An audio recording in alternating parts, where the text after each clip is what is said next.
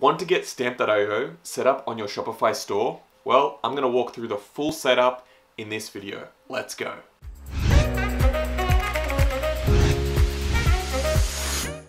I love Stamp.io. I use it on all my stores and recommend it to many of my clients. It's fantastic because you can easily collect reviews from your customers as well as display them on your website in a really nice way.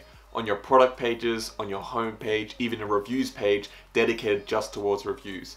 It's fantastic for also helping collect UGC, user generated content from your customers. This is when your customers will send in a photo or a video of them using a product, which is insanely helpful for closing new customers. It looks fantastic on your product pages, your website, and you can use this content in your ads, on your website, in your marketing. It's incredibly valuable adding reviews to the store can really increase the conversion rate so, so much. It's insane. There was one store I worked with where we imported all the reviews from another platform, Etsy, onto the Shopify store and it doubled, more than doubled, the conversion rate from 3% to 8% for that store. This is because it pulled in 500 reviews as well as user generated content like photos, stuff like that into their store and we put them to the same products because she, she, had the same products on this Shopify store as her Etsy store. And boom suddenly all that traffic we were paying for on Google, on Facebook, just increased in value because we were paying the same cost per click, cost per uh, impressions, but suddenly we were converting a much higher proportion of that traffic, which reduced the CPA significantly for that traffic. It was fantastic. Okay, so now I'm gonna take you through the full setup of setting up Stamp.io on your Shopify store. If you're new here, my name is Sam from Key Commerce, and I help e-commerce store owners just like you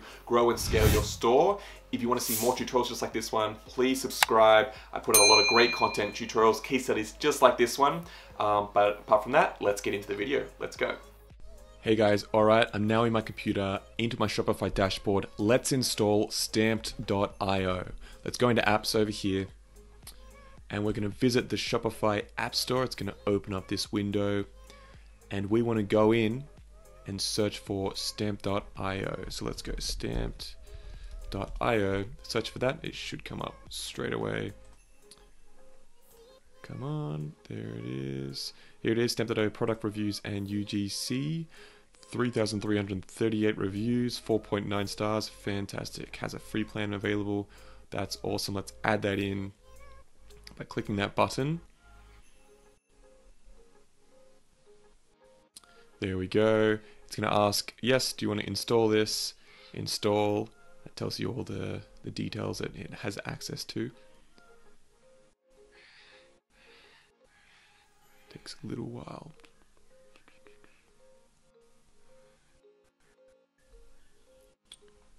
Give it a moment.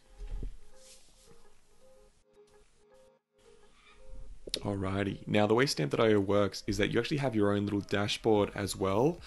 Um, so you access that in Shopify, but then it logs in to this dashboard. So now it's figuring all this stuff out. That's why it keeps changing. But once you let it go, okay, now you have to go through the setup. It's really, really simple. Your type of e-commerce business. So for this store, I'm going to put in drop shipping. That's totally fine.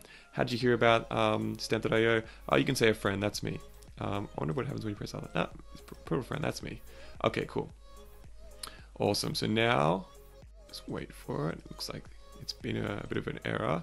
Uh, what you do here is you add in your logo, your brand name, um, the, the color for the stars. This is basically customizing the email that people get um, when they after they purchase a product and they wait. So you're going to be here requesting reviews from your customers. It's really really awesome. You can now go in here and basically customize the email and um, like what sort of question it is. Um, put in your logo.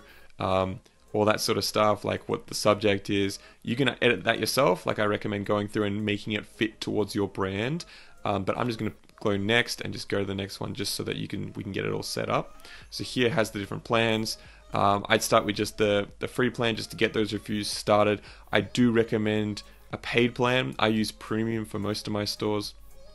Um, but basic, you know, that's that's great because that gets lets you collect uh, photo reviews and checkout reviews. Photo reviews is really really awesome. Like that's fantastic because you can actually get those images from customers when they're using the product, which is fantastic. So, um, so yeah, I like to just do current. That's totally fine. Um, here, it's actually going to import your reviews in your store that you've collected maybe from your Shopify reviews, um, and it's going to import um, no, no. So yeah, it's gonna sorry, it's gonna import import past orders and then request reviews from all those customers. So suddenly you have all these customers that have purchased from you in the last you know four months, and you can get them all, um, send them all an email requesting a review. So that's you know fantastic. I don't have any orders here, but uh, on this, this is a dummy store, but basically that's something you can do. And suddenly, boom, you, you can even set this up and get all these reviews, including photo reviews for all your, your products very, very quickly. So now we've already set it up, so that's easy. Okay guys, so now that we've installed Stamp.io, what I'm going to show you right now is very, very important, and that's getting your branding and the widgets actually installed on your website. So we're going to go down here, this little bit down here that's called settings. Let me move my big face out of the way. And so the first thing I like to do is go into displays and then branding.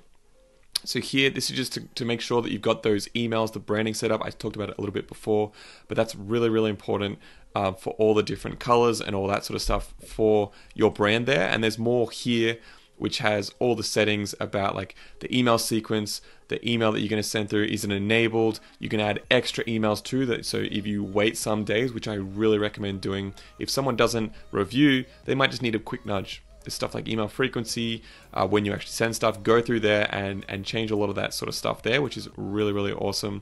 Uh, but then going down here, the branding, that's important. Yes, that's really important. You also have uh, for the widgets, the branding for the widgets and the widgets this is basically what it actually looks like on your website.